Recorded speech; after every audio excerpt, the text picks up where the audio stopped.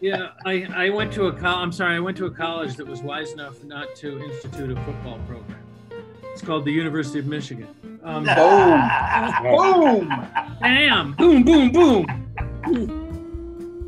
Very much, and I'd like to thank Cal Tjader for that lovely vibes work.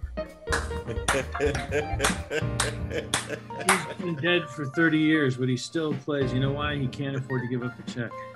Um, He's uh, vibing. so